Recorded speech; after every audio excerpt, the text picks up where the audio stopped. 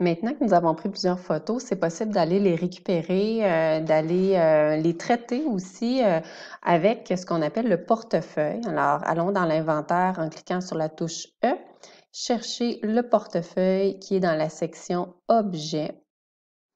Alors, portefeuille, c'est celui-ci. Encore une fois, on aurait pu en faire la recherche avec la loupe. Alors, euh, pour euh, avoir accès aux photos qui ont été prises, il s'agit de sélectionner euh, l'outil portefeuille dans notre barre d'accès rapide. On clique sur le bouton droit pour ouvrir le portefeuille. Et ça nous démontre vraiment toutes les photos qui ont été prises précédemment. Alors, c'est possible ici de faire un tri, c'est-à-dire de supprimer les photos qu'on ne souhaite pas garder. C'est possible aussi de, les nommer ou de leur donner une légende.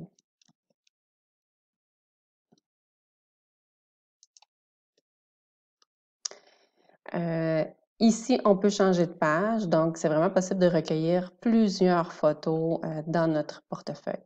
Une fois que le portefeuille est complété, euh, si on n'a vraiment pas d'autres photos à ajouter, on peut maintenant l'exporter et ce que ça fait, c'est que ça génère un document PDF qu'il est possible ensuite euh, d'envoyer à notre enseignant comme cahier de traces.